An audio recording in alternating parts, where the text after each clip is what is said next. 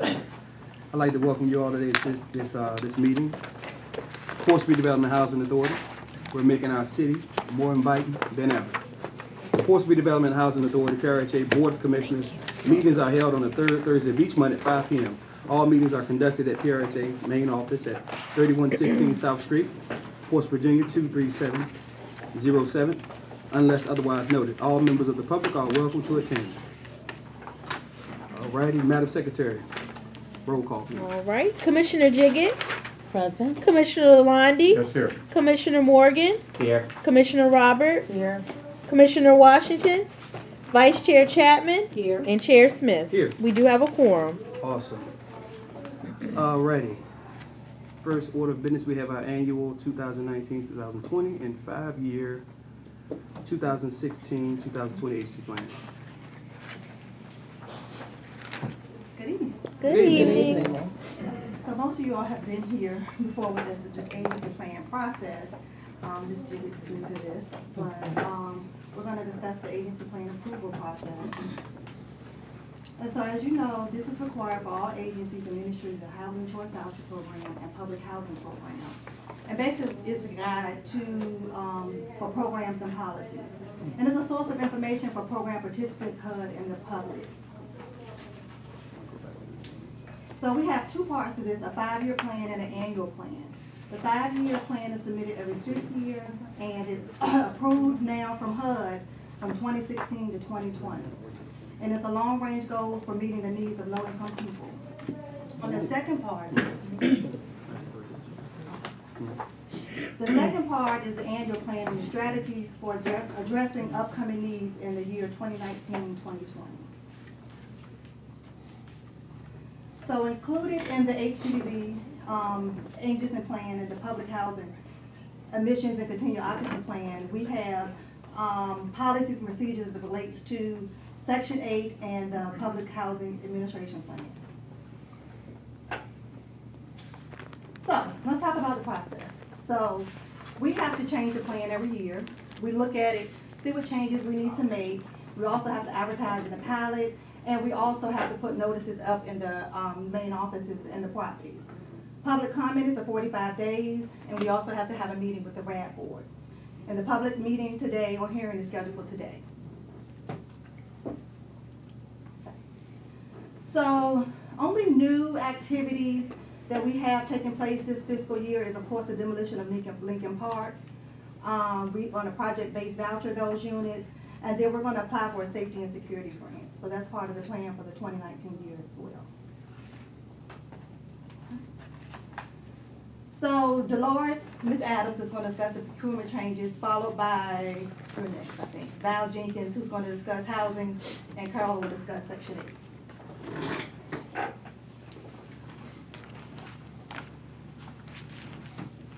Good evening, Good everyone. evening. Good How you evening. I have the easy part. Um, as far as our procurement plan, there's been, um, very few changes. However, we have a great change. HUD has agreed to, um, some guidance that was sent out last year from the, um, the federal government implemented this plan, this, these changes in procurement thresholds last year. However, HUD did not allow housing authorities to do that. We received notification back in March that HUD said, okay, you can follow this guidance, so right now, our micro purchase threshold that has been three thousand dollars, and it's been that way for several years now, has been increased to five thousand, according to HUD. And, um, and then they also increased the small purchase threshold to two hundred fifty thousand, but because we are governed by the most stringent of the state or the federal government, we have to stick with the state micro purchase, I mean, the state small purchase threshold, which is a hundred thousand. So if the state changes theirs, then we can change ours up to the whole HUD threshold. So we changed every, um, in the procurement policy that the micro purchase threshold was three thousand to five thousand. That's, that was the major change. The second change was a housekeeping change. We have a, we, every time we do a procurement action, we have to do a cost, an independent cost estimate so that we can, uh, we know what we expect the, um, procurement to, um, item, procured item good or service to cost. And it is just that an estimate, sometimes, um, it's off, but it is just an estimate, we just have to have a ballpark figure. And previously, the, the director of, um, budget was signed that form, but we no longer have that position. So now it's signed by our director of finance. So those were the only two changes that we made to the procurement policy. Awesome. Thank you.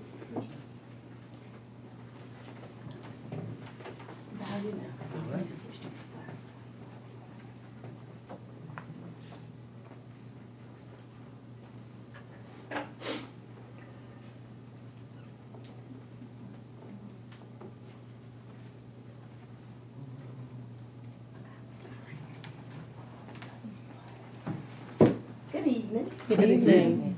We, we really don't have a lot of changes, we just did a lot of housekeeping. Um, So, under chapter three, which is eligibility, we edited the policy to allow the PHA to verify the living need, a living aid if necessary with professional and for continual approval.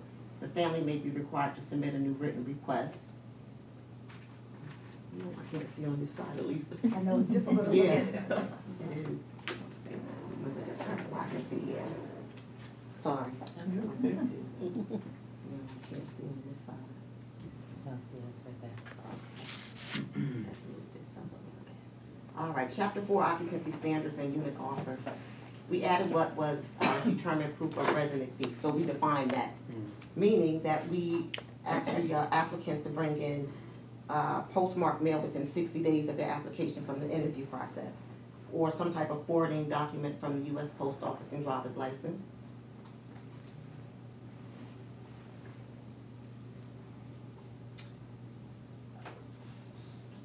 We added the VAWA preference for selection uh, method. VAWA, Violence Against Women Act. You'll hear us say that. I know Commissioner Jiggets always say we have a lot of acronyms, so that's what that is.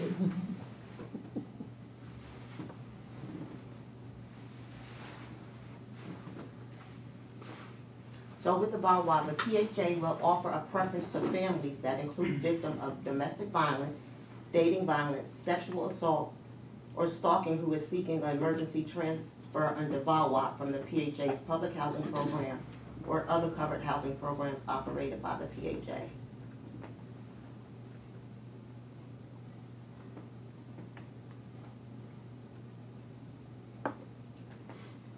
Okay, chapter five, occupancy standards and unit offers. We added to the policy that the PHA will deny a family permission to make an elective move during the family's initial lease term. Uh, you wanna tell me Meaning- that? explain Meaning, so, when you first move in, you have a year's lease, so what happens, say you got house today in Dale, and your name came up on Seaboard, say in May, then they would wanna move, instead of completing a twelve month lease. But keep in mind that they will not lose the place on. Oh, they won't, right, correct, they won't lose their place on our wait list, but we just won't allow them to transfer that way. Why? Because they have to serve out their Initial initial lease. lease. Mm-hmm. Reexamination, streamlined annual reexams. Edit the policy to allow the PHA to determine when streamlined reexaminations can be applied. Otherwise, full annual reexams will be applied. And we also added, public housing will only complete streamlined annual reexams if feasible. So basically, what, that streamlined is if you want a fixed income pension, social security, you would still the following year have to recertify, but we just wouldn't have to get the verifications again. But because the majority of our properties are tax credit, we can't do it that way. So the only property that would actually be feasible for would be Swanson.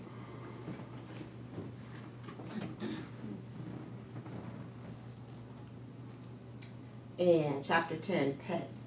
Edited the policy not to allow the PHA to require pet owners to obtain or carry liability insurance and not to require cats to be deployed.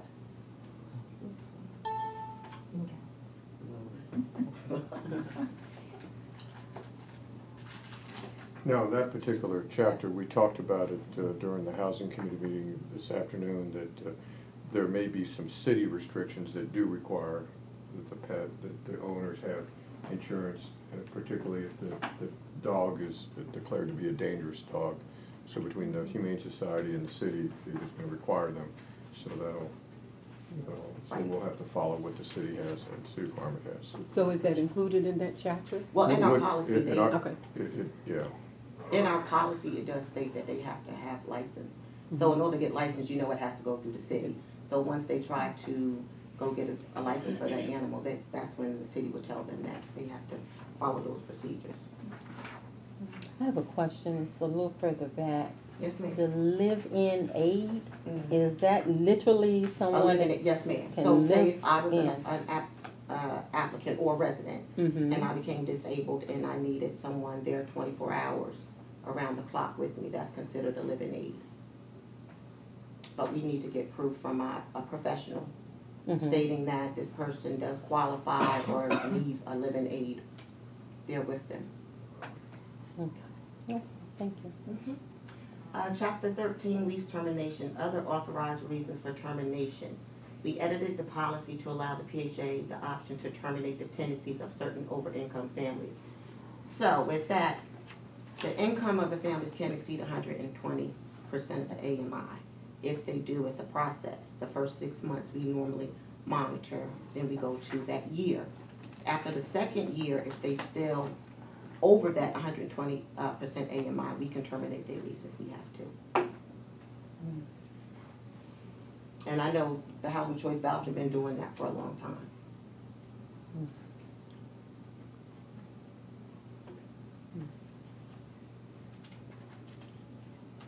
All right, chapter fourteen, grievances and appeals. We edit the policy not to allow PHA to offer grievance hearings for lease terminations involving criminal activity that resulted in felony convictions of a household member. And you can see what's listed there. Any criminal activity that threatens the health or safety or right to peaceful enjoyment of the premises of the residents or employees of the PHA. Any violent or drug-related criminal activity on or off such premises or a criminal activity that resulted in a felony conviction of a household member. Hmm, Question, Yes, ma'am? um, do you at least allow the convicted person to exhaust all of their appeal rights first before you initiate that?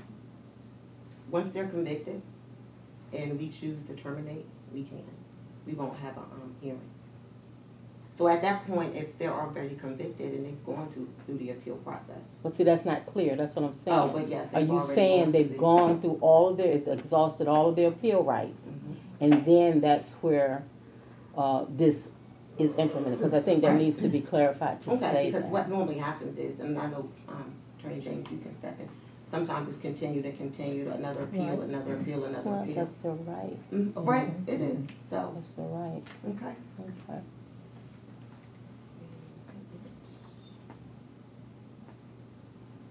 That's it. Thank you. Thank you, Val.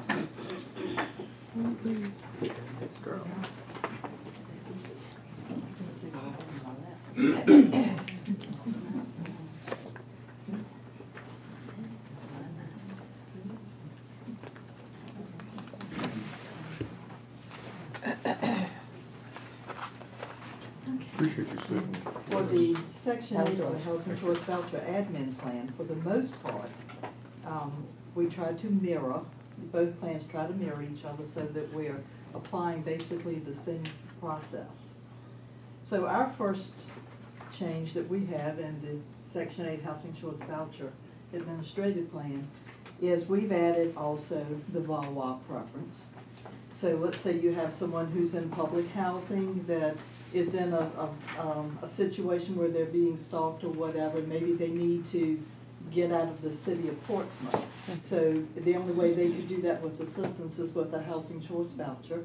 So this allows us to issue them a voucher in a situation such as that. And then under chapter six for assets, in our previous plan, uh, we were requesting six bank statements that we would do an average of in order to determine whether, what the amount of assets that someone had um, in their bank accounts, et cetera. And we were finding that a lot of our tenants, uh, or participants did not have six bank statements. So we have reduced it to just using the current statements that they provide to us. Question on that. Yes, ma'am. Why wouldn't they have six bank statements if they've got a checking account? Well, sometimes the bank's gonna charge you in order to give you, they don't, they just simply don't keep it. Sometimes some of our participants just don't keep their bank statements. Now, I know you and I are probably look at it and say, well, we keep ours, but not everybody does. And so they may not have six bank statements, and they would have to go to the bank to get them.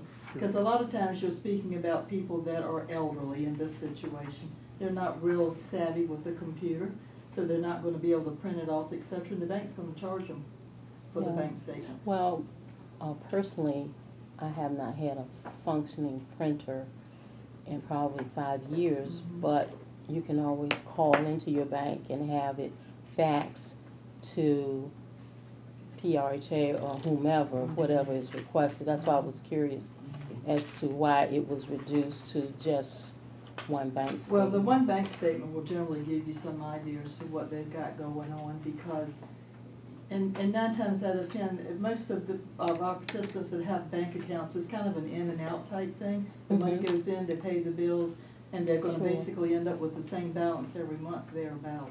So it, it's really not feasible to put them through it. If Hmm. we have any reason to think that they do have assets, et cetera, then of course we'll go to greater lengths to help them get that information us.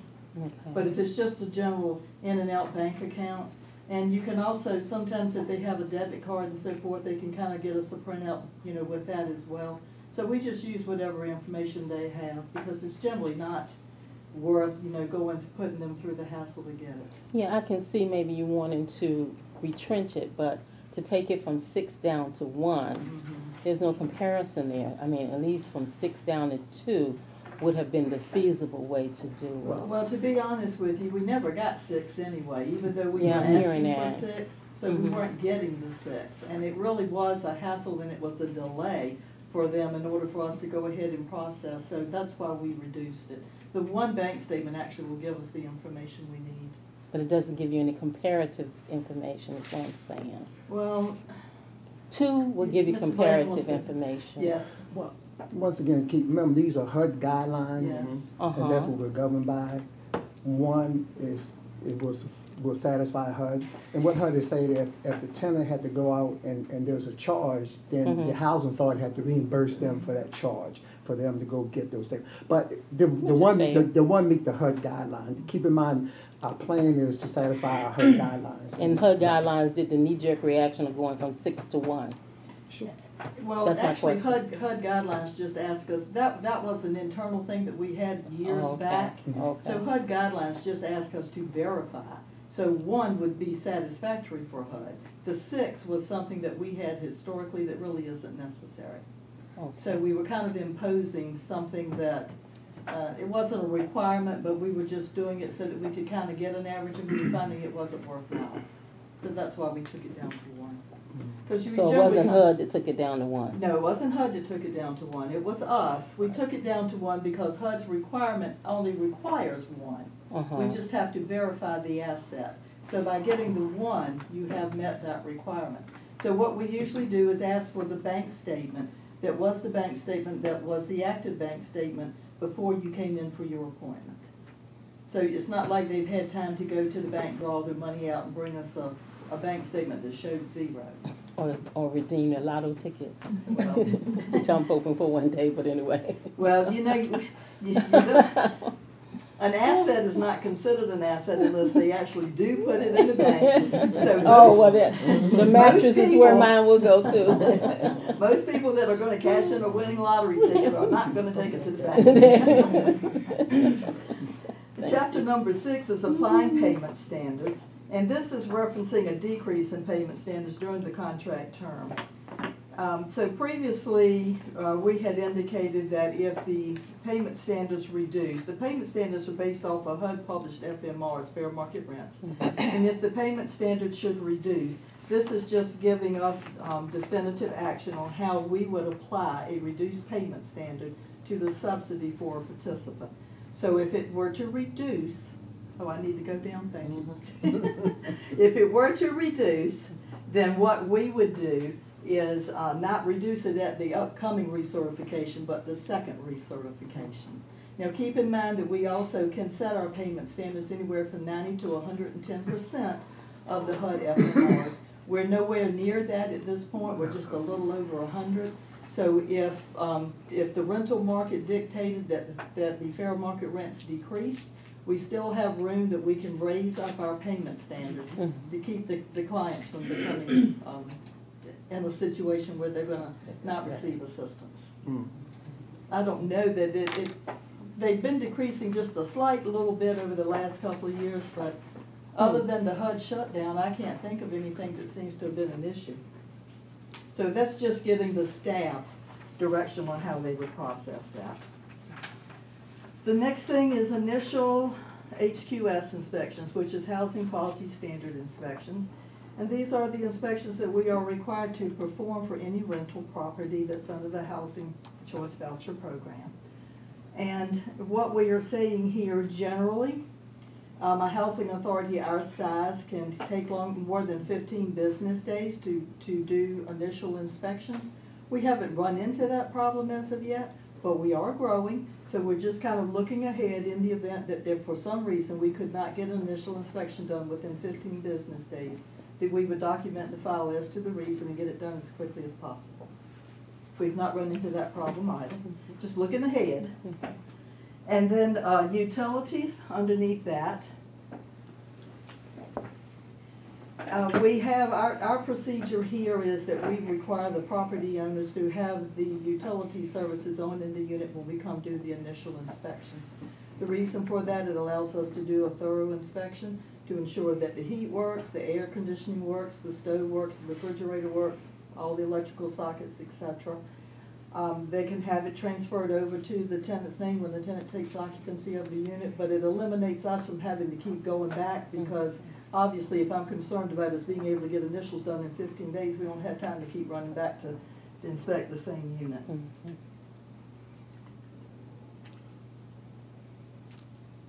I'm going too fast here. Mhm. Lead-based paint.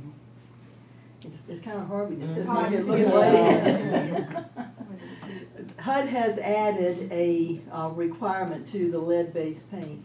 Previously, anytime you had a house that was built prior to nineteen seventy-eight that was gonna be occupied by a child under the age of six, they had to comply with the RRP if they had to do any, um, repairs, which is the repair and, and the paint procedure. Um, now HUD is requiring any house that is pre-seventy-eight, that it is maintained in accordance to the lead-based paint procedures in the event that a child should occupy the unit or visit the unit, etc. That's a HUD requirement. Eligible units, we're just kind of making a reference here just to be sure that we have clarity. Uh, for instance, our property that we own in Hamilton has market units in it. Um, even though it's a tax credit property, some of those, those units are available to be rented on the open market.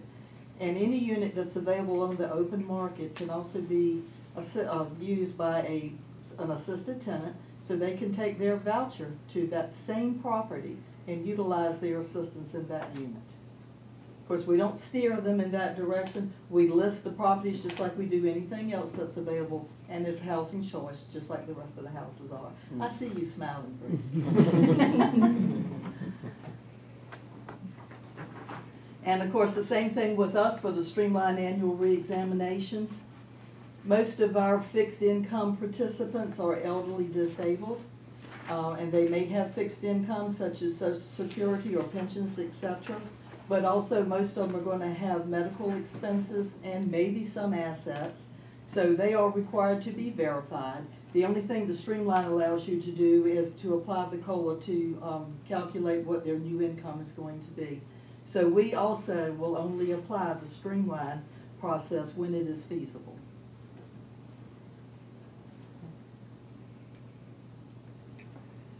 Uh, updating the payment standards, every year around September or October, uh, HUD publishes the new fair market rents.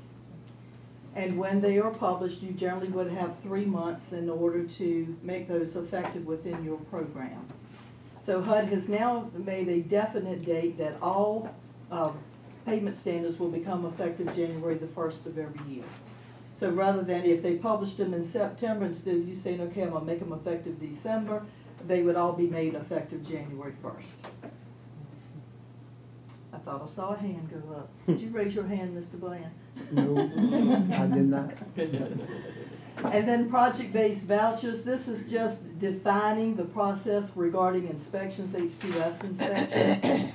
Um, Inspections are required for our project-based uh, properties before initial occupancy. And should there be a turnover, meaning a family moved out, or another family moved in, the units have to meet compliance before we can approve Can you, occupancy. uh, can you let them know that we don't do our own units? Oh, we don't, that's correct. We contract with Norfolk Housing Authority as our independent agency to perform inspections for our properties.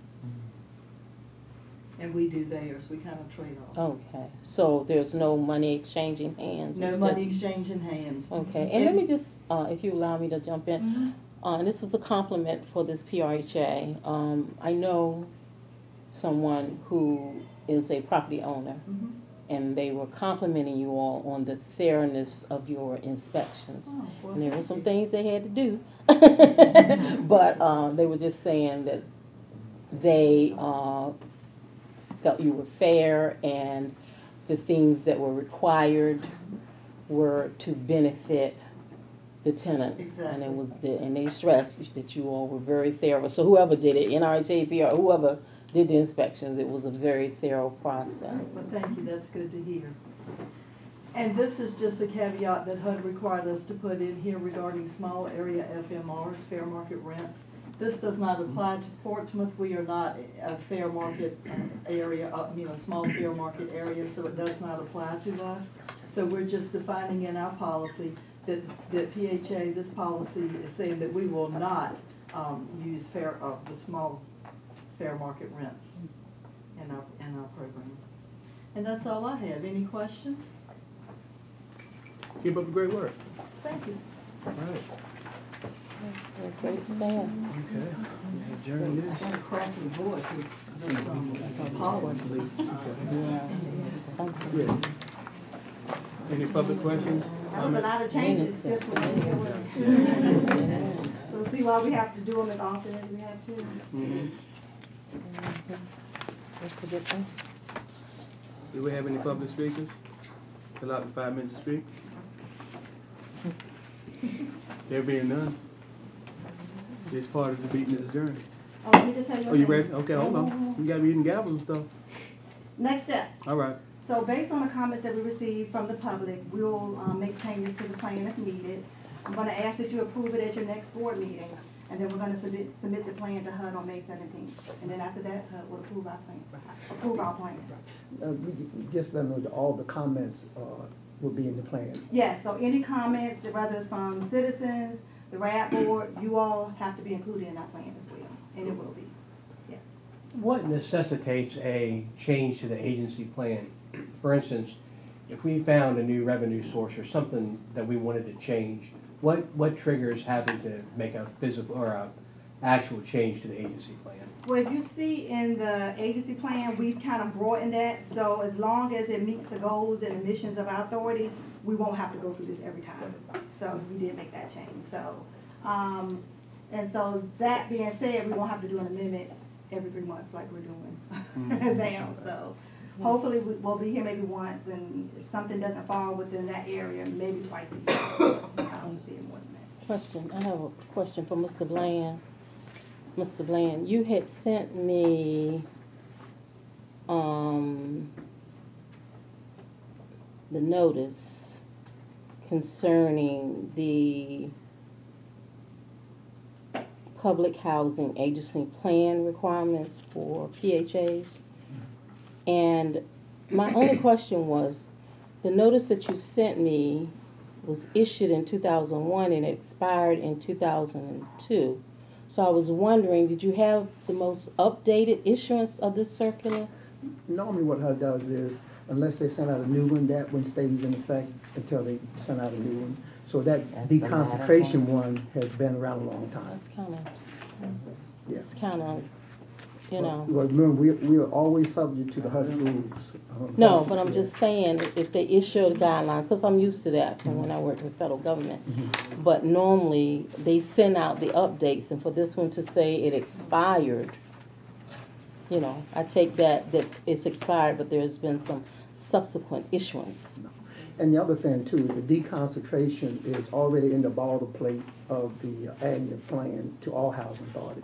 And when that, when it's in there, the, no housing authority has authority to change that word within their plan. No, I know that's why you sent it to me, Correct. but when I see the expiration Right. date, I have to question it because the normal person would say, okay, well, this one's expired, where is the most updated circular? And so you're saying they just will expire it and not issue an updated one. It may somewhere in the future, but until they issue a new one, we're governed by the old one. So this one has been out of date since two thousand two, that's seventeen years, and they have failed to issue an updated I'm not gonna say that they have failed. Uh, we- But you know for a fact, you are not in receipt of it, is that correct? Only thing I can say, I know that for a fact that we are in, uh, we are under, we're following the guidelines that are given all housing authorities. Good, Commissioner. So my question is, in response to Commissioner Jiggets as well, isn't that public information? So would you not be able to go on the HUD website? So there are any addendums or updates, would that not be available to, to any person? Right. If you- if Well, you- my response to that, uh, Commissioner Chapman, is when our executive director, Mhm. uh, sends me information to address my concern, Mhm. I am expecting to get the most updated information. And for it to be an expired notice, it has to be questioned because I know how with federal government, they issue all of these circulars. But we want to make sure that we haven't missed an updated circular on this for the last seventeen years. So Mr. Bland can check on that, just to make sure. I, I, I would, I would hope Yes, it ma'am. would. Just to make sure we have the current information. Mr. Mm-hmm. Bland. And then you can resend that out to all the commissioners.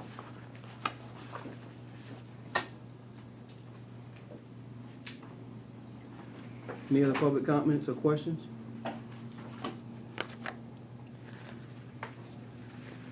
There being none, Chair needs motion to adjourn so we can go into actual session.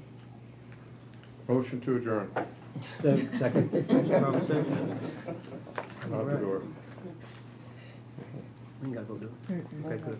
Meeting adjourned. All right, then we're going back into the new one. All right.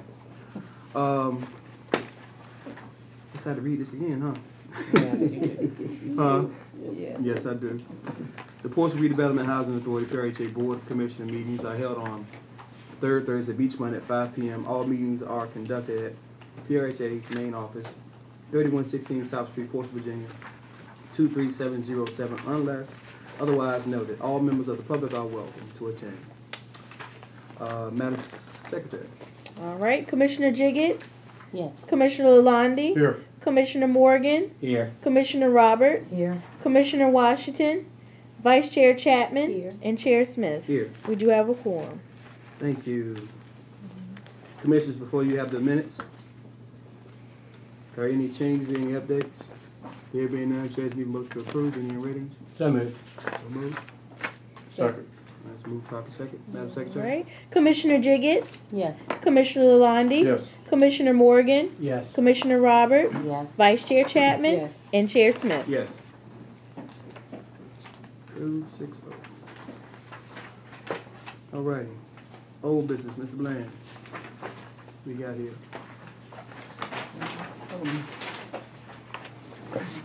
I don't have anything to. Have anything, okay? Finance, we have anything? Well, we do have something. You know I'm gonna do it.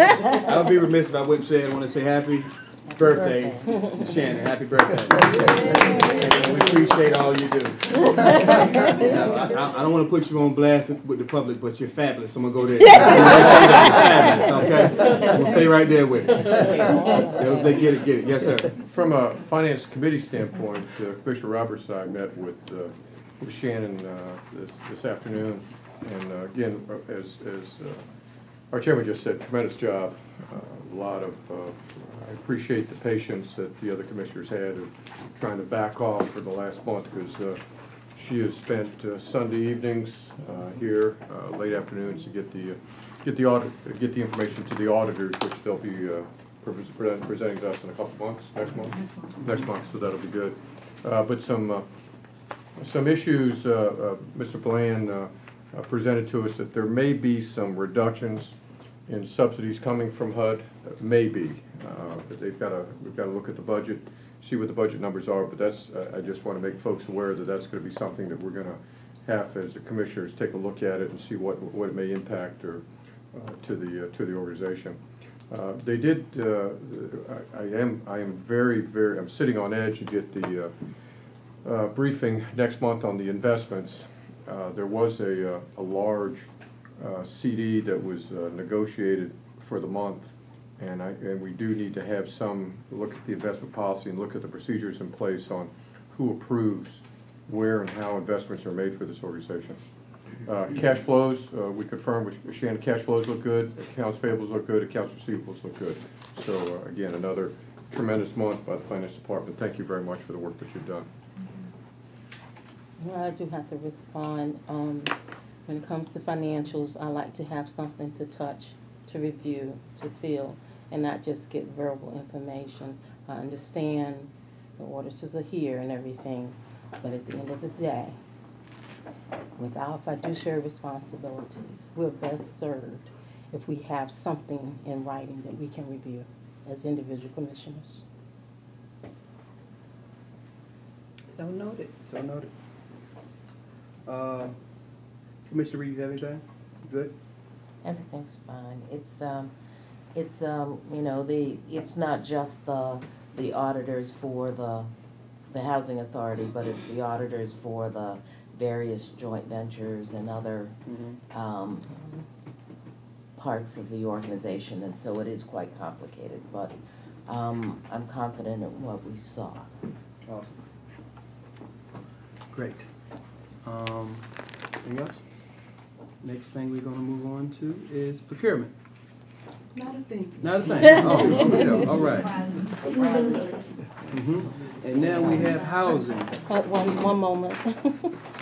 Uh, with procurement, um, when I was going through the correspondence from HUD, it indicated that once HUD had approved the Housing Authority's procurement policy, which they have, at that point, it, was okay to have board commissioners to become a part of that procurement committee. And so, uh, Chairperson Smith, I would like uh, to see you consider that, appointing two members from our board to the procurement committee. Because HUD has indicated in their correspondence that it can be done once HUD approved the procurement policy. And certainly, Mr. Bland can share that with you, the specifics as to what I was reading when he sent me that information. Okay, note taken. And it may have come from, Maybe. Maybe got came from, uh, Assistant Executive Director Wins- Winston, and you can Right. share it, yes. Thank you for that. Note taken, note well taken. Uh, Commissioner Um, Morgan. wanted to, uh, make a comment on, on the particular request. Um, and I hate to keep beating a dead horse and bringing up what happened in the past, but I think it bears noting that part of what got the housing authority in trouble a few years ago was that they had board members on the procurement committee or procurement process. Therefore, they made recommendations that were not, I don't know if they weren't, they weren't appropriate, but they were not in keeping with HUD guidelines. Gotcha. And so I think that when everything, all the changes were made, it was a conscious decision to remove the board from that process. Yes, So at that time. Before we, before we add people back, I think it's prudent to ensure that we're following the HUD guidelines and, because we're here to approve what the staff is, work is doing, Yes, sir. Not my personal opinion. Mm-hmm. So, And let me Just comment. respond. Gotcha. Was that not at the time when you were on the board too? Uh, it was after I was not on the board. Okay, then let me say. But we were, but we were, I will say that the particular issue that Was. got on, got us all in trouble, um, I was on the board, I was not on the procurement part of that, uh, issue. Okay. But it was, uh, got us into trouble. Okay, well, let you, me just respond. Hold on one second, hold on Go one, ahead. se- no, you hold on one second. Go ahead. The, the information with, from the HUD review was not about a subcommittee. Their procurement falls under finance, because it's a financial thing. So the financial, we fall under, when necessary, the financial subcommittee. The HUD review was in reference to board members on evaluation committees when we're doing solicitations. And in that particular instance that got us in court and almost taken over by HUD, board members made up the majority of a majority of an evaluation committee, and they did not, they vote, they, they did not follow almost every guideline that HUD has. And that's why HUD, uh, came in to review that particular solic, that particular solicitation. They made us cancel the contract and resolicit, and HUD had to review the process every step of the way, uh, up until final approval. And even after the board approved, um, award, HUD would not, um, allow that contract, this, this resolicited contract to go forward. So, that's what the HUD, um, cause you're talking about that audit, that when HUD came in and, and, um. I'm came talking out. about, if that, if that's what you, cause that's what you sent her, you, Alisa sent you information about the closeout when the individuals, when, as part of that HUD fiasco, they, the people came in from the, um, the audit arm of HUD. And that's what, but that was all, that's what the eval, the committee was, we don't have, and we never had a procurement, um, subcommittee. And procurement falls under finance as far when the committees were established, procurement was put under the finance subcommittee. There is no separate procurement subcommittee. then let me respond. Based on what I read, HUD gave the okay. Once they approved, We ain't gonna do once they approved, they approved what you all submitted based on all of the problems that were going on. And in the directive from them by letter form, and you can pull it, Elisa, when you get the chance, they indicate that because you all have met all of their requirements, that if, if need, we are allowed to add board commissioners to that entity. And so I would say two things. Certainly pull it for the next meeting. But they were not talking about me. the subcommittee, they were I'm talking about talking. evaluation commit, that whole er- I'm still talking. to evaluation committees. I'm still talking. But I was here present in the house when HUD came back and told us, did their closeout with us on that issue. I'm still, I still So- have the floor. So, but I do know what HUD told us. Okay, I still mm-hmm. have the floor, and I'm going by what was in the written letter correspondence. And in the written letter correspondence, we, as a board, because the housing authority met all of the requirements that HUD was requesting in terms of the procurement, I'll call it infractions or whatever. So at this point, we can place commissioners on whatever that entity is where the procurement is being reviewed. And based on that, um, Ms. Winston, if at the appropriate time, not this meeting, if you would pull it, to share it with Mr. Bland and all of the board members. And let me uh, respond to you, Commissioner Morgan. Um, yes, there were problems before, but this is a new board. This is a new day, and this is a new time. And personally, I doubt seriously if this board will find itself in the position that the previous board did. And quite frankly, um, I don't, I, I don't think it serves a positive purpose to continuously refer to what happened in the past on this. We are a new board, we got a new chairperson, a new assistant chair, new appointees, and, uh, we have to go through with a fresh start on everything. And you just, you just made it so clear. You said it yourself. We have to, we have to do that as a board. That's correct. We have to do that as a board. So you put it out there.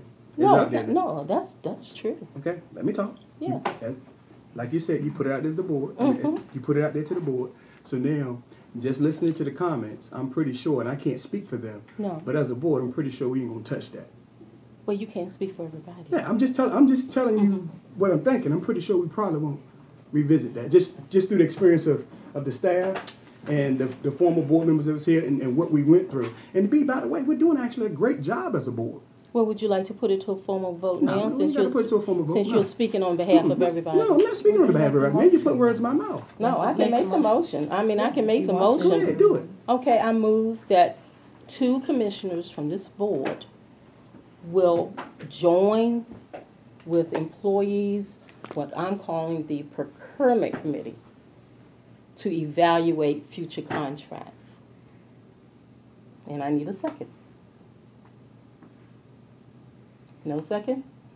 You said put it out there, okay. Well, I- you wanted. you Yeah, well, I do it. did. You know what? I did. But you know what? And I, that is still my right to put it out there Okay. again, and maybe I have a second. All right. Yeah. So I appreciate you're not speaking for the board members and allowing it to be put forth as a Mm-hmm. motion. So thank you. Mhm, No problem. I wanted to make a recommendation Yes, that, um, to provide Commissioner Jiggets with additional information, that we table it and allow, uh, Assistant Dep- the Deputy, uh, to provide that information that she provided to you, so we can go over it all together to under, get a greater understanding as to what it is that you're requiring or that you're looking for. Um, so that's what I'm just making a recommendation, so that it'll give her time to pull up the information, um, Miss, um, thank you. Also to review it as well, and so that we all can get a greater understanding as to what it is that, that you're, you're seeking. Well, actually, that is Okay. the way I wanted to Okay. proceed, but when Chairman Smith, Right, you know, took the stance to speak on behalf of the board, right, that's why I went into Okay. a motion. okay, I was really wanted to go along with what you just recommended. okay, okay, And certainly,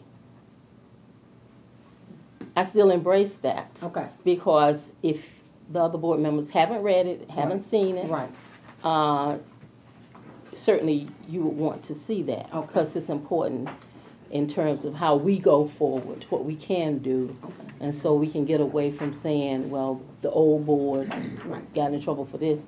And like I said, we're a new board. But you can't be ignorant Mhm. to what is going to be in the best interest of this operation. understood. So thank you, thank you. And to follow that just one Yes, sir. step further and to, to, to support uh, uh, Commissioner Jiggets, the committees that we set up, you know, finance, development, uh, housing, uh, personnel, we all have an element of procurement within them. So anything that's ever been pushed up towards this board has been vetted by those committees. And uh, I think Commissioner Jiggets, as she gets involved in the committees, it's just gonna naturally lend itself to two things. One, finance, and two, procurement. Because all of them, all of us speak it. It's, uh, uh, if we, you know, and I, and I, I would rather divide and conquer like that than have to sit couple of us to review every, every single procurement. It needs to come up with the endorsement of the, as we do with finance, as we do with housing. It needs to come up with our, our endorsement on it, and I think it has. And uh, I, I, I encourage that we get uh, Commissioner Jiggets involved as quickly as possible in these committees, because there's a lot of education this staff gives us, and a lot of questions that could be answered before we come here, so. Exactly. Thank you. No taken. Anything else? Ms. Jenkins? Housing. I'm back. No, I don't have enough here, it's hard. Yeah, yeah, it's hard, can't do that. Okay. We are doing our write-offs. Okay, we are requesting approval to write off ten delinquent accounts totaling seven thousand one hundred and thirty-nine dollars. Of this amount, five thousand thirty-eight dollars is in rent, thirty-one dollars in excess utilities, and two thousand sixty-nine dollars in miscellaneous charges, which are due from the former residents who have not lived in the authority's low assisted housing for a period of the last four months or who are deceased. The amount of rent to be written off represents less than one percent of the total rent posted during the last four months. As a result of the staff's strict enforcement of lease provisions, thirty percent of the amount written off resulted from three lease terminations for unpaid rent, and six accounts resulted from voluntary move-outs and one accounted from death. Since January first, two thousand nineteen, the staff has collected a total of four thousand one hundred and two dollars for assisted housing development, in which three thousand eight hundred nine dollars came in from in-house collections and two hundred and ninety-three is from set-off checks. The writing off of these accounts receivables will in no way preclude our continued efforts to collect money owed to the authority. Did you want to take them both together, David, or? Mr. Lang? You wanna tell them uh, what procedure you have in place, although we write off, Yeah, because I have a question. but what procedure you have in place, although we're gonna write off, what procedure you have in place? I will. Did, you want them to go together, David, or? And then we can go over them. Um, One's assisted, yeah, one's public. Okay, one's it, two, Yeah, the two. yeah, Okay. separate. Commissioner Davis. Yeah, Oh, He said you. Yeah, I have a question. When I, when I, because you sent this information to us, so when I got it, I was trying to understand what is the method of payment that you all accept from your residents? Okay, we, money order, Money order? check, cashier's check, or they can go online. Does HUD require that we must accept checks? Cause I, I'm, I'm trying to understand how Why we we got into, cash? I'm trying to understand how we end up with these charge-offs, these Right write-offs, off, you when people don't pay rent when they move out. Is Or that the that's basically it? Terminations, mhm. But it's not like they're owing for one month, it's like they seem to be owing Because for two and three process, months. we have, um, three unlawful detainers, then we can file a unlaw, well, a writ for them to execute eviction. So it's not that if you just don't pay this month, we put you out the next month, it's a legal process that we must follow. And that allows them to accrue. Exactly. Unpaid Unfortunately- rents. Unfortunately, along with legal fees, late fees, um, which are considered miscellaneous charges. hmm So yes, you're correct. Well, what about the, um, is there a percentage that ends up because of return checks? We don't That's get a lot really- of- We don't get a lot of return checks and, um, normally with these write-offs is for people that are non-payment, that are under lease termination, so. And so are they basically working the system, would you say? They know, they know they're gonna disappear and they know they get three months of, I'm sort of hearing that they get three months before we take action legally, Well, we file every month. We file unlawful detainer every time they're late. every But- time. Right, so for instance, when Attorney James filed this month, they Mhm. may not go to court until the end of May. Well, May's rent has rolled around again for the first. Well, they haven't filed, haven't paid for May's rent.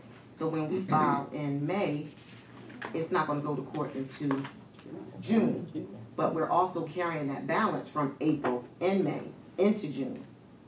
And so you're saying there's really no process to get around it? That's what I'm Well, hearing. re- you know, That is the represent, remember too, this is only, this is less than one percent of what we got, and there's just no way, I don't care what organization we got, there's no way we're gonna get a hundred percent. You know, we, we, I, I am, I, am- we've, this is, I think this is the third time or fourth time that we've reviewed this with the, with the uh, housing folks, the housing committee has. And I've been very impressed on one, not only protecting the interests of PRHA, but also protecting the interests of the tenants that's there, because they have their rights. You know, the eviction, the issues on evictions, you know, we walk that fine line, you know, on how, how aggressive we wanna be. So when you're, when you're only talking ten cases in six months, all right, that, that's significant. I mean, they're in court, they're going after state tax write-offs.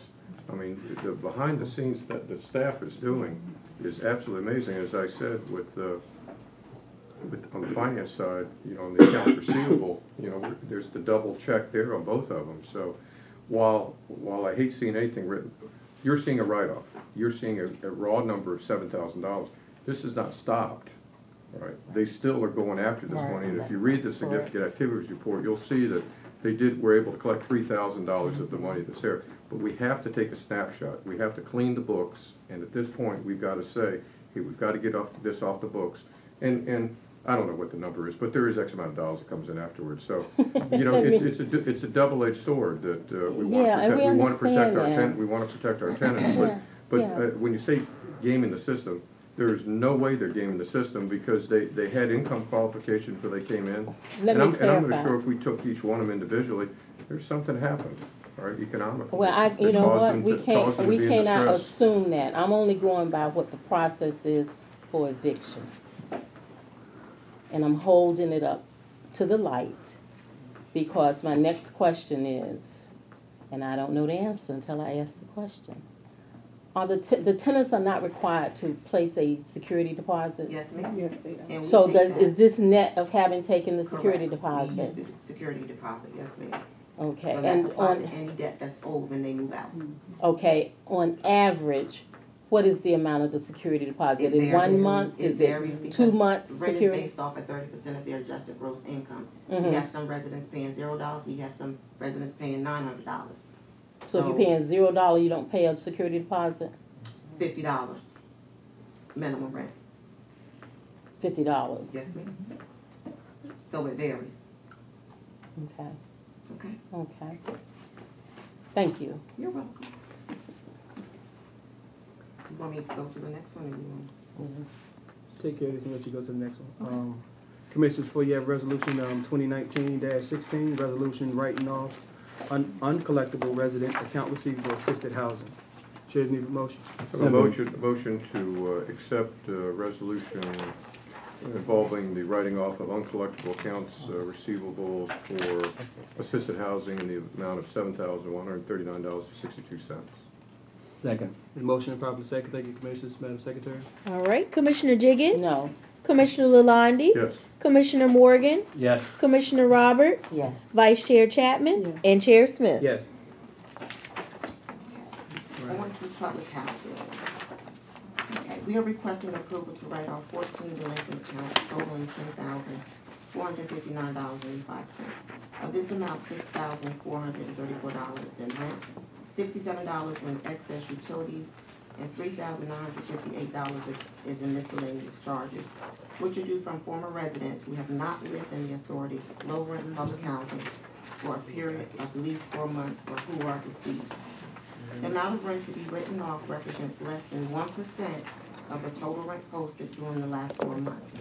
As a result of the staff's strict enforcement of lease provisions, fifty-seven percent of the amount written resulted in eight lease terminations for unpaid rent, one move out for serious lease violation, and the remaining five from five voluntary move outs. Since January first, two thousand nineteen, staff has collected a total of five thousand two hundred fifty-four dollars for the public housing developments, in which three thousand one hundred and ten dollars is from in-house collection, $2,145 is from set-off debt claims. The writing off of these account receivables will no way preclude our continued efforts to collect monies owed to the agency. question. Yes. When a tenant leaves our residence own, does that preclude them from being able to go to any other city and participate In public housing? in public housing? Yes. We- Even section eight vouchers, everything? We, it's a system called debt owed, that's in PIC, which is through HUD. Uh-huh, So we go in and we put that amount after the security deposit is taken. So, say for instance, if they were going to Chesapeake to apply and their name came up on the wait list, when they go in the system to see if they owe any debt, it will pop up. So it does. and at that point, using your example, if they go to Chesapeake Mhm. and they're trying to rent there, Mhm. and they still want to rent there, is it Chesapeake Housing Authority responsibility to collect what is still owed to us to They clear will tell, out? they'll tell that applicant that they have to make good here. And once they do that, then we'll send something letting them know that it's paid in full. Okay, and have we been able to effectively use that system Absolutely, to collect? absolutely.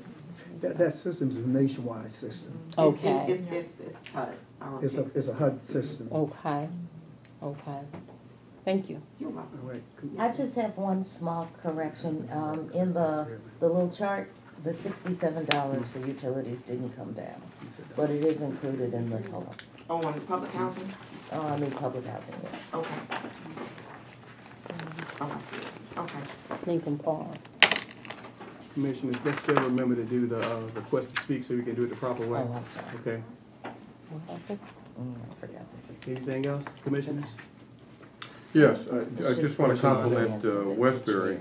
Uh, If you notice on the chart, there was no, no uh, uncollectibles from Westbury, so the team at Westbury, uh, I thought they did a fantastic job. And given all the turmoil that we're having out at Lincoln Park, to only have three hundred and twenty-two dollars in write-offs, I think it's pretty gosh darn significant. So to the management team at Westbury, the management team at Lincoln Park, just want to say thank you very much for a tremendous job, given the chaos they're going through.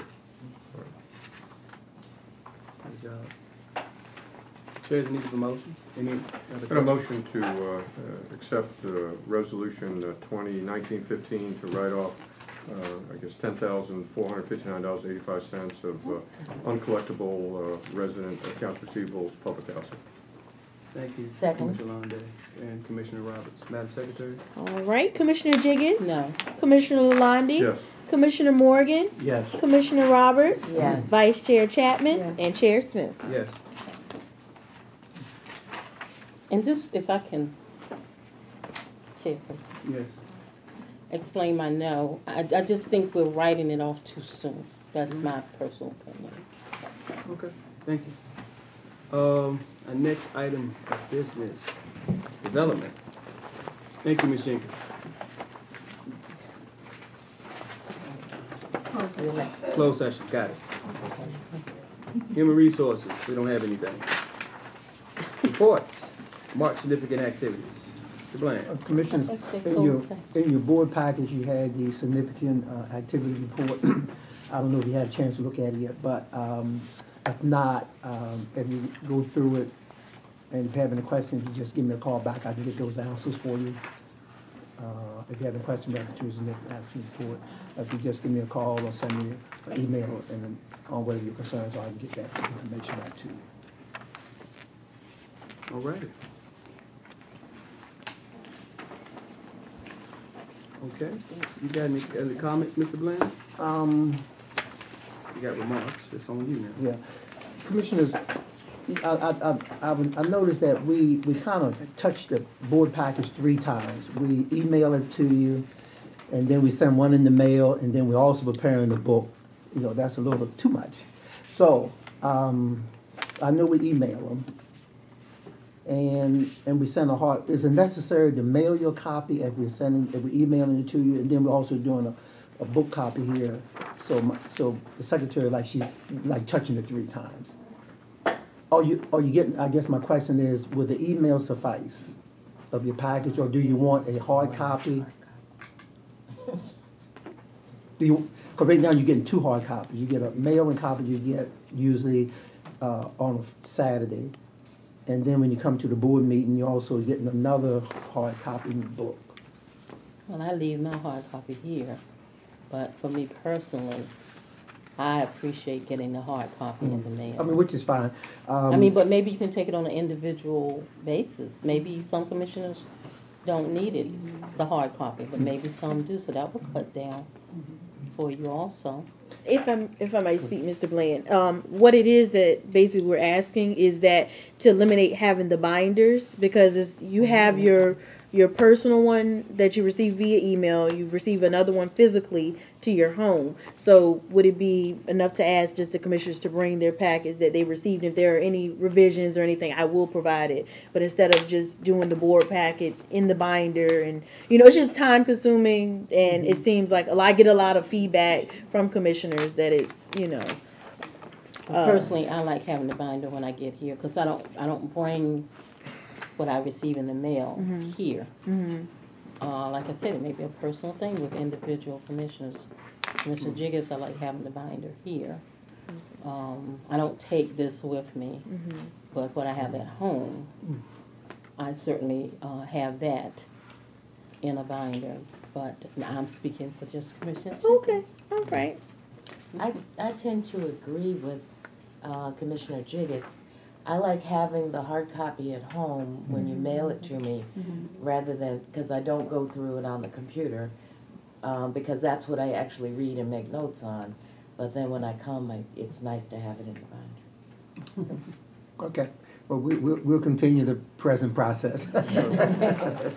Okay, um, the only other piece I have, I know that, uh, I'm, I'm, at the uh, finance committee this morning, I handed out a, just a information, uh, information piece, uh, take one and pass it down. And I wanna just talk about this just a little bit, um, because I know the, um, and I wanna, uh, thank, uh, I want to thank the commission in reference to trying to see what we can do as far as uh, looking at salaries, which we will look at that. But we had, did- we did somewhat some, uh, a brief preliminary. And uh, what you see in red is showing that our projections for, um, you see what, what we received in the HUD subsidy from July of of 2018 to June the 30th for this year, and what we were getting in subsidy from July of um, this year to June the 30th of next year. So the red column is showing that that's a decrease we're going to receive there. So it's a decrease like $418,000 along with um, our capital fund is going to one point nine that we that uh, going down to one point nine. In in this fiscal year we got two point two and we we got we're gonna get one point nine. So when you add those two numbers together that's seven hundred thousand dollars uh, in um, a decrease of, of funds different from uh, from uh, the fiscal year going in July of this year going forward. And then also, you know, when, when you look at doing salaries and things like that, not that, we, we, I guess what I'm saying to you is until we put together what we call our preliminary budget, which the finance committee understands, we will have a preliminary budget for the board to look at in June. That's when we have better numbers and see where we are. Because also when you do a, um, uh, salary increase, you got other benefits, you know, on, you got the pension, which eight, eight point five six an employee, we have to pay into that. Then we got the FICA tax, seven point six five. Then we had the group life, one point three one, which is the second, attached to second page. Then we had what we call the long, long-term disability, point 0.72. So then on top of that, there's another eighteen point two percent that goes on top of that. And I, I know that Commissioner Morgan, he, he us to be financially conscious. So we gotta make sure, uh, that whatever we do, and we will look at it as a staff, that if we can, and if, and if we can't, we would say that to you, this is not the time. Uh, because, you know, when you're looking at seven hundred thousand dollars, this may not be the time. But we'll be putting something together, and then we can better look at it once we put all our numbers together for our, our budget year beginning July one. Just a quick question. Will the subsidy or the expected subsidy from Lincoln Park be uh, affected by the fact that we're converting to the, I'm not sure the terminology, that- but not as, not public housing anymore? It- Will they adjust that once the units start being torn down or? Uh, they, they probably not do an adjustment until, uh, I'm gonna assume, I'm just rough guess, I think they probably will do that adjustment until probably July one of twenty twenty. And just a rough guess, it's next possibility. Or they may go ahead and take out the units that we had taken down this time and, and do, and we will not know yet. Uh, and they may go ahead and take the first seventy-some units out of the subsidy for Lincoln. Uh, since, uh, we have already submitted that, they have approved it, and maybe just give us the other half. Uh, and we, we should know in probably in a few more weeks in reference to that. And the other adjustments down pretty significantly, is that based on, I know a lot of times the public housing, HUD makes its recommendations based on the overall financial health, or what they determine the financial health of the authority being. Is that how they did this, or are they looking at reserves of that particular entity, or? Well, it, it, it, it's, it's, our numbers that historically that have been submitted before were not correct. Best, best answer I can give you at this time. And so we're looking at, based on, uh, on what the numbers should be, this is what it will be, uh, Sure. this time, yeah. I have a question. Commissioner Jenkins? Uh, you said the numbers that were submitted were not correct. Did that come up during the audit? Or when did that come up for these adjustments? These projections here? No, these are just projections that the finance director and myself had, had looked at, stuff like that. We're just doing this some is- projections is, these, these red, numbers in red are what you perceive the adjustments will be. Is Uh, that correct? And not a different pro- factual? Yeah, it's a different process. Process. So the, the audit is something totally different. Uh-huh, And then there is a process, um, that you have to fill out using a utility, um, expenses and consumption. mm-hmm, And along with a, a very sophisticated formula that HUD provides for each of the public housing entities. So that was something that was totally, um, separate process away from the audit. So the auditors have nothing to do with that process there. okay, so when I see, uh, Seaboard, when I see Westbury being in the red, the mm-hmm. projection, and just in layman's term, tell me how you all arrived that the projections are going to decrease. I'm assuming in terms of what HUD is going to be providing to you all? Right. We anticipate what HUD will provide. to Okay, us. why? Because prior, the way that the utility side was figured Uh-huh. was based on, um, those properties are actually a tenant-paid utilities, Mm-hmm, and they want you to provide actual costs that we pay cost allocation, okay. Right.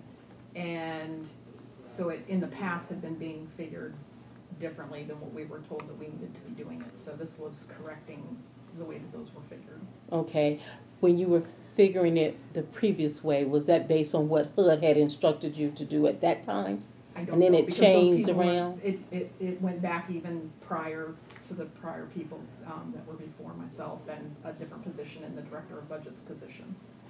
So, and I ha- I, I have not been able to find any documentation, and that's why we've been waiting, that's why, why we say that it's tentative, because our field office has not got back to us once we submitted it, to let us know if we needed to revise it. Okay, all right, thank you for the clarification. Now, the one point nine on capital fund, we, we have seen, that's what we definitely gonna get, that's not, uh, uh, anticipated. We, we have gotten a letter, uh, so we know what that is, that, that's that one point nine.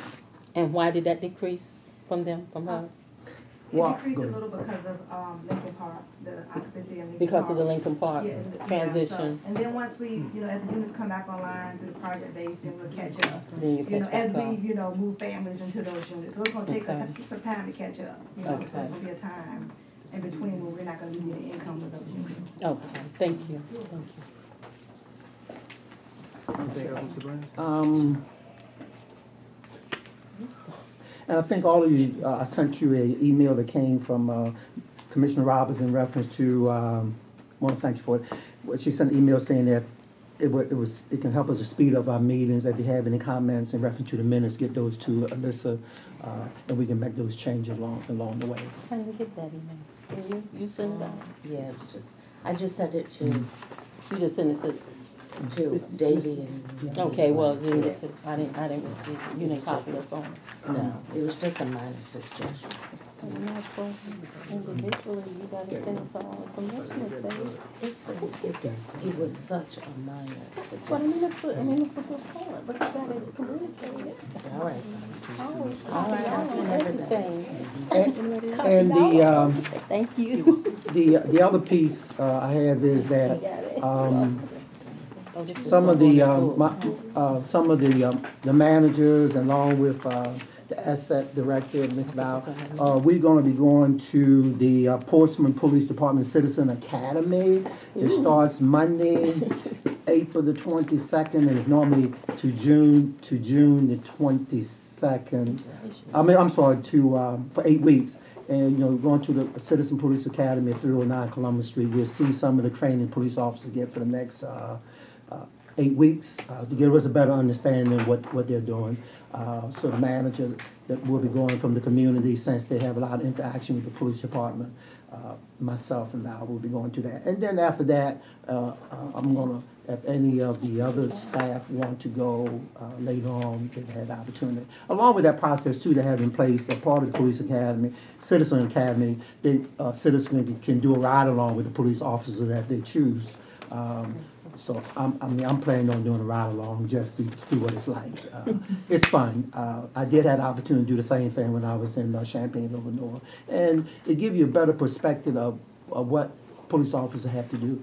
It, it really is. Uh, so that's going, and that is, yeah, that's, that's all I have. Yes, sir. Any other comments, Commissioners? Yeah, I've just got uh, four or five, I know some of them I've already talked to Mr. Bland about. Uh, Truxtun is having their anniversary, hundred-year anniversary this year, and I would, I would encourage Port Redevelopment House Authority to be, to be engaged with Truxtun, and that's a, it's a very, very nice neighborhood, very historic neighborhood. Uh, I appreciate the, uh, the action plan I saw that you put in there about money for security and safety.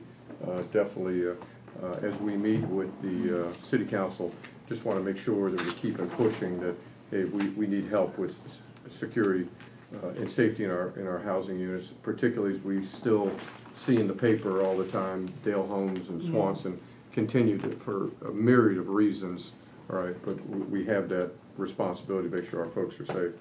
Uh, I talked to Mr. Bland, now that we've dropped Effingham, which was hundred and seventy-eight units, we're, we've actually, uh, you know, taken a, uh, hiatus with, uh, with, uh, Lincoln Park, as we shut down that 100 178 units.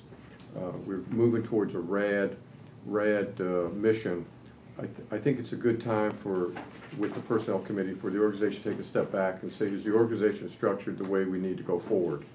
Uh, Because we did, you know, focus on public housing before, I think it needs to take, a spotlight needs to be put on, is the organization flexible enough? Is it responsive enough to now meet the needs of what we are now, which is gonna be more RAD-oriented, more housing choice voucher-oriented, all right? And where, where, where we're deploying all our assets. Uh, On the, uh, on the Citizens Academy, just, just a comment there, I, I got a, uh, just, and I, I applaud what we're doing there, another one of those things we need to be in partnership with the police and the public safety folks, but uh, I know I talked about, uh, you know, if we could look at raises, salaries for the employees. On the other side, uh, I think there were some employees that were, were felt that uh, uh, they did, they did not want to take their evening time to go to that Citizens Academy. So I know, Mr. Bland, you're, you're trying to keep your finger on the pulse here, but just be even more sensitive that sometimes folks don't want to go to training, all right? Uh, So, for whatever, it's for, so just, just mindful of that. The significant activities report, I, I really crave that report. I mean, I really do. It really shows the great work that this commit, that the organization does. And uh, I, I want to focus back to you, Mr. Bland. If there's anything we can get written that shows what you do, I'd appreciate it. Uh, I'm not here to supervise what you do on a daily basis, weekly, and monthly basis. I'm here to be part of the success, all right? And, and uh, I just, if there's just someplace written that shows, and if it could just be another add-on to the significant activities report, this is what you got accomplished. And as I've asked before, what are those two or three things that you're looking for us to help on?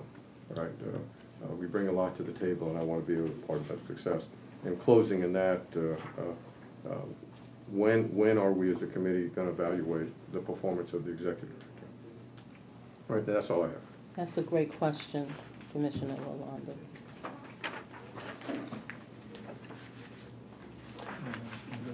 Oh, uh, one of the items, uh, the uh, Portsmouth Housing Authority, we're gonna be submitting a letter. Uh, we're gonna put our name in the hat for MTW in June. Um, HUD, HUD is asking for housing authority who are interested in coming to MTW to have a letter submitted in June. So we plan to submit a letter, uh, in June to become an MTW, for What is a MTW, which is moving to MTW? work, I'm sorry, moving to work I'm so, agency. these acronyms, are- I'm uh, just over these acronyms, I'm uh, over them. Yeah, I'm sorry. I'm moving to work agency. Right now, there are thirty-nine housing authorities on a national level that are MTW. And, and basically what they do is come up with crea- creative ways to help to make mo- families more responsible and self-sufficient, stuff like that. So I heard over the next few years, we're gonna take in another, uh, hundred housing authorities into the program. And so they'd be opening up letters of interest in June, which is very competitive. Um, you can be the best in the world, but there are no guarantees. Uh, they say that probably based on number letter, that maybe you just do a lot of it wrong. Uh, so, but we plan to submit and see how we, how we do. Is there opportunity there for PRHA to partner with another housing authority on this, you have to do it individually, no partnership allowed. You wanna show your best, the, the thirty-nine that have been Mhm. before, we, we stood alone, Okay. yeah. Because you, you know, you gotta, you know, and you wanna, you wanna stand alone because you, you want to tell your story and, Right. and, and, yeah, no partnership. Hmm, okay. Thank you, Commissioner Londa. Any other questions or comments, Commissioner? Yeah, yes, but I'll defer it if it goes around the table like this.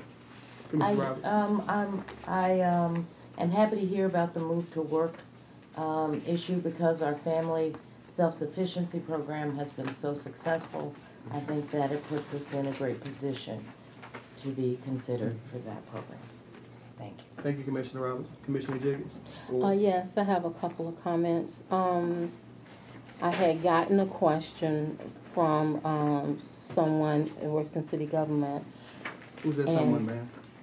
We can't, I can't say who that is. Well, What I'm saying is, it's someone who lives in Mount Hermon.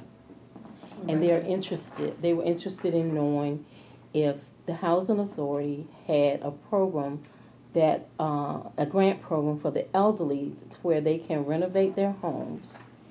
And I think it was under what was called the Home Funds Program. And I think, uh, Mr. Bland, when you responded, you said, you just said, no, we don't have a program. But my understanding is we had it before.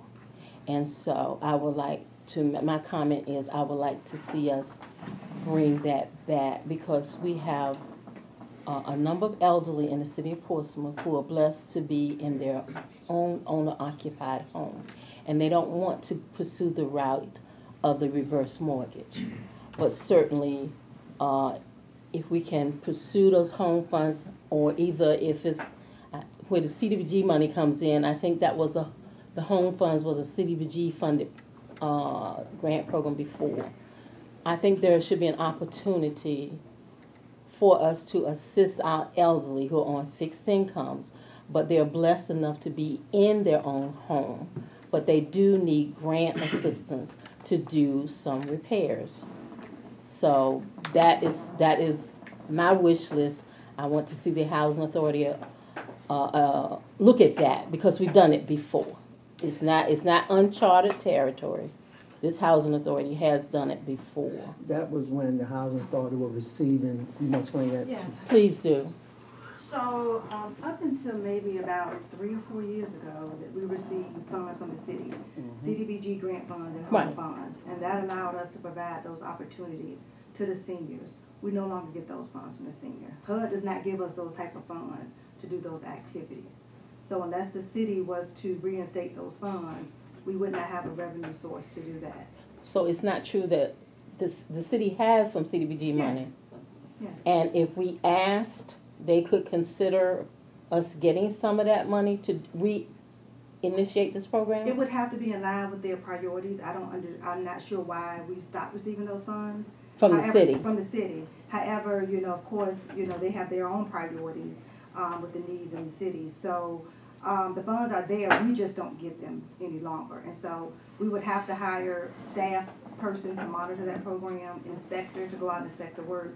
So if, you know, the city would have to be willing to give us those funds back in order to do that program. I do get calls daily about that program, because Well, I people know that we used to have that program. And so I definitely see it as a need in the community, I- but we I- just don't have a revenue source to do that right now. Well, we have the revenue source, the it. city has Yes. the money. Yes, And certainly, I think when we meet with the city, it is something that we need to put on our list. Um, because, you know, ask not, get not. And so, we've had this program. Um, you're getting calls. Mhm. I'm talking to people about it. It speaks to the city of Portsmouth because everyone does not live in a residential community. Like I said, they're in homes. no, The veterans have a program. I know that. And um, certainly, I think this is something we need to formally uh, request from the city again. If in fact, they are the only ones who can let the CDBG money down to us to do the program again. Yes, they're, uh, what they're, what you call an entitlement. um, Sure, the account, so the money recipient, yeah. goes directly to them. Sure. And then they funnel it out the way they see fit. Exactly, exactly. And I don't, I mean, you know, I'm, I'm not gonna play Monday morning quarterback, but I think, um, our council being very sensitized, I, I, I don't see them not What am I touching? wanting to, uh, allow this program to be reactivated. And so that, that is my, that is, uh, my wish. And then the other thing, um, even though I did not, I was unable to make the state of the city address, my understanding that those residents who were able to attend, was the feedback that they enjoyed it? Yes. Is it something that you think maybe for the next year, because you know, it comes up annually, that there might be some additional residents that might want to, I just want to know how they felt about it. They, they seem to. They enjoyed it, They yeah. did. Well, that. I'm, I'm glad to hear that, and, And, uh, uh, we also had the staff. uh, Yeah, which is great, yeah, yeah. join and sit at that table well. Yeah, and that, and that's great. And you know, when I think about um, the the theme, smart city, wise choice, that applies to all of us, all of us. And it's good that we had them engaged in that. And so I think that probably is it for me. All right, thank you, Commissioner Jiggets. Any other commissioners, anything? I just wanted to say, and um, lieu, if for whatever reason we're unable to, um, which is a finance issue, I guess, um, as far as giving the raises for the employees, that we would consider doing maybe an employee appreciation day or something in lieu of that, if for whatever reason we find ourselves in a situation that we're not able to. Yeah. That we would do something for them. Correct. Um, instead, they work hard, and, and we should recognize them for They doing do it. work hard. Thank you, Vice Chair. They do work Chuck, hard. any other commissioners? All right, that being said, okay. Okay. Um, I have here some, uh, following guidelines and recommendations I provided to assist with clarifying, uh, board and staff inquiries. Pass it. These are public, right?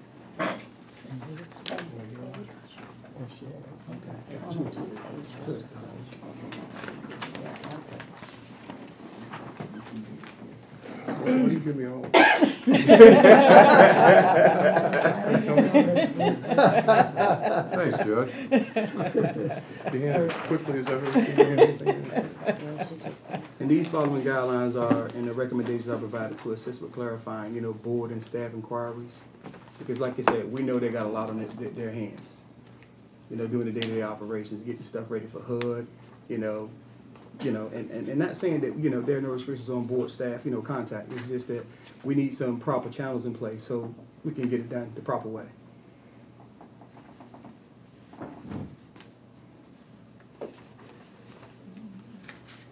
I hope this is.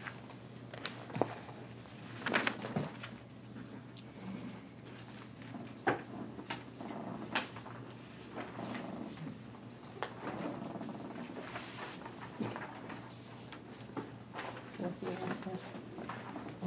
What's the answer? I don't even know No, what we the don't answer have, we don't have to act.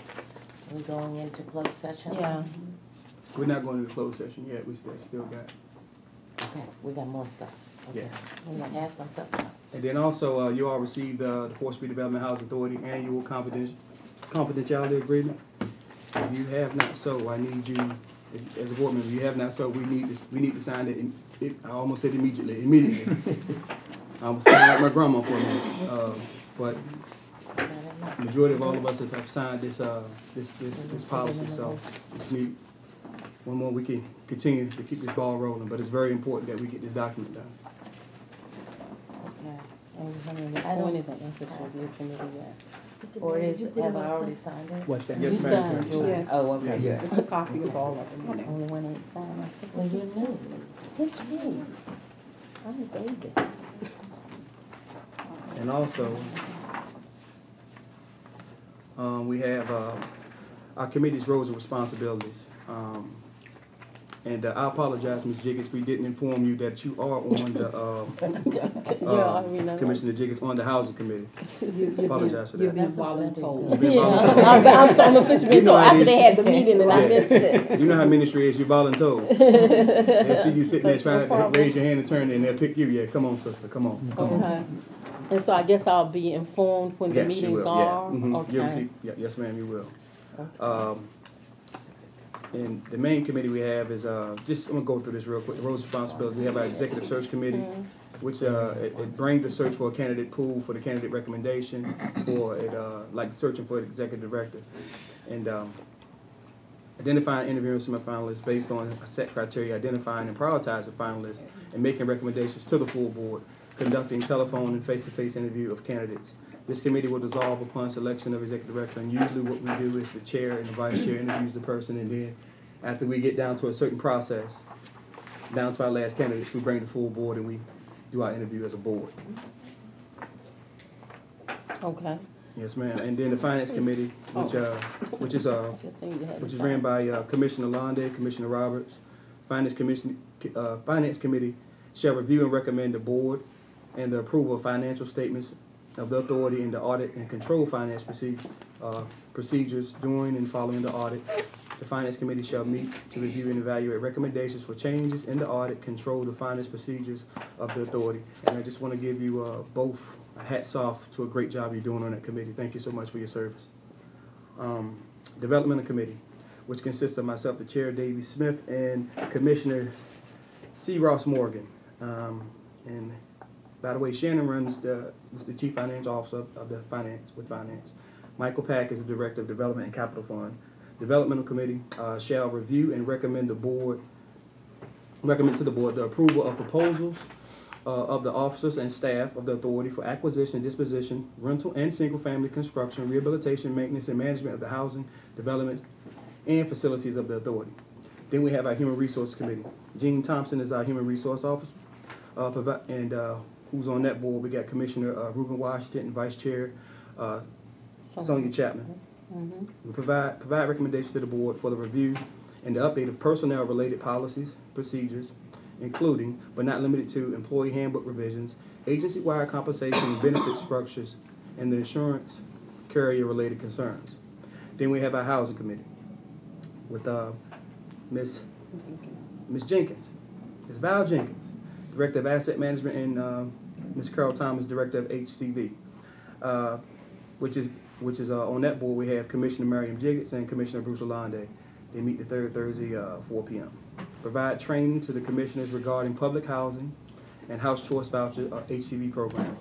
To bring forth, um, to bring forth, to bring forth resolutions regarding write-offs, uncollected debts, which we talked about today, and housing-related issues of policy changes. And those are the committee's roles and responsibilities of the committees we're. Yes, sir. Mr. Blaine? And then you had one, we left one of the governors. Oh, yes, and I left one off, that we left off the list, the governance committee, where myself, the chair, and uh, Commissioner Morgan sit on that rule that deals with the bylaws and regulations, anything we're gonna do, policy brings it back us, and then we bring it back to the board. Along with myself and uh, our general counsel, Ms. uh, Karen James, and uh, our executive director, Mr. Mr. Bland. And those are our committees, roles and responsibilities. So if you can update that and Yes, ma'am. add the governance, and Yes. then for human resource committee, just, you can Just just you? note, meet as needed. We Okay, just meet as needed. Yes, uh-huh, ma'am. Yeah, we, we meet as needed. And We also, don't um, have to say. had a chance to go to the uh, the legislative NAHRO conference, which was a great conference.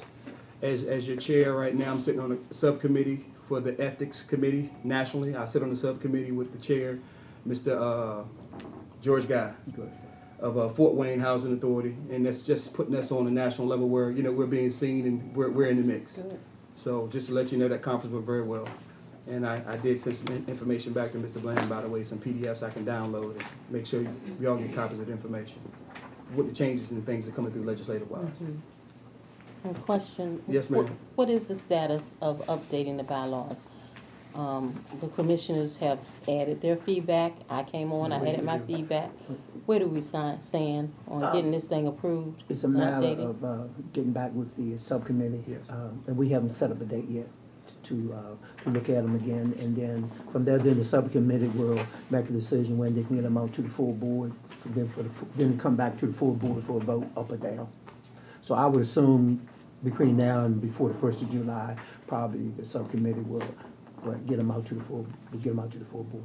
Okay, thank you. Thank you for that question, uh, Commissioner Jiggets. Um, That's all I have. Do we have any public speakers? Period, Chair allows up to five minutes to speak. There being none, uh, we're gonna take a, uh, we gotta go into closed session, then do a recess. Right. We're going to closed session. Okay, resolution.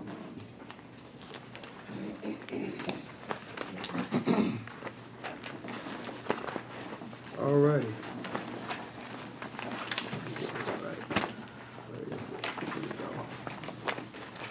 Resolution 2019-19, resolution of intent to meet in closed meeting. Whereas the Virginia Freedom Nation Act provides that the Board of Commissioners can meet in a closed meeting for the discussion of consideration of disposition of publicly held real property where a discussion in an open meeting would adversely affect the bargaining position and or negotiating strategy of the public body as set forth in section two point two three seven one one A three of the Code of Virginia as amended. The matters for discussion are Seaboard Commons, nine twelve Douglas, and Craddock Properties, and eight 818 County Street and 3910 Victory Boulevard. And therefore be it resolved that in compliance with the Virginia Freedom Freedom of Information Act and the above referenced section of the code, the Board of Commissioners shall reconvene in a closed meeting on April 18, 2019 for the discussion of disposition of publicly held real property A3. Chair, needs motion. So moved. Second. As we move in property second, Madam Secretary. All right. Commissioner Jiggets, Yes. Commissioner Lalonde. Yes. Commissioner Morgan, Yes. Commissioner Roberts. Yes. Vice Chair